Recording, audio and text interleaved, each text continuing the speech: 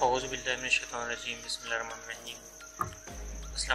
Dare viewers आज के इस वीडियो में हम बात करेंगे कि हम कोरल ड्रॉ में पेज साइज़ जो है, इसको किस तरह से चेंज कर सकते हैं। ये जो हमारे पास पेज साइज़ है ये बाई डिफ़ॉल्ट लेटर पर सेलेक्टेड है।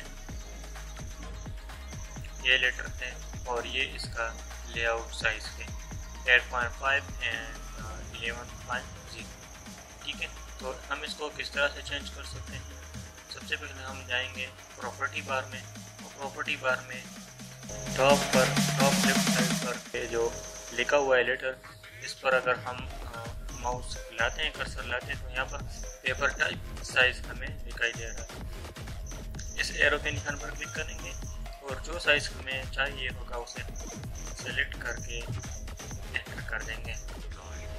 यह हमारा पेज साइज़ है। इसको एम एम में दिखाना है। इसको अगर हम इंचेस या फीट किसी भी चीज़ में दिखाना चाहते हैं तो हम यहाँ से कर सकते हैं इंचेस पर।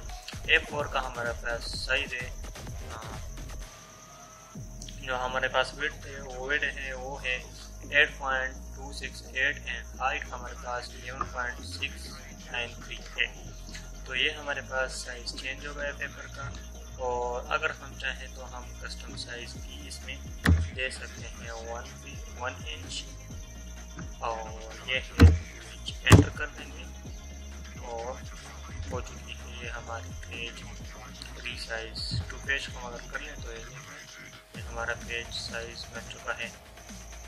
इस पॉइंट को नोट कीजिए कि जो यहाँ पर सेलेक्ट है, ये पॉइंट उसी में दे रहे हैं। हम अगर ईट सेलेक्ट करेंगे तो फिर हम यहाँ पर वन ईट और ये हमारे पास होगी टू फीट ठीक है? तो ये आप ध्यान में रखिएगा तो नेक्स्ट वीडियो तक अपना बहुत सारा ख्याल रखिएगा तब तक के लिए अल्लाह हाफिज़।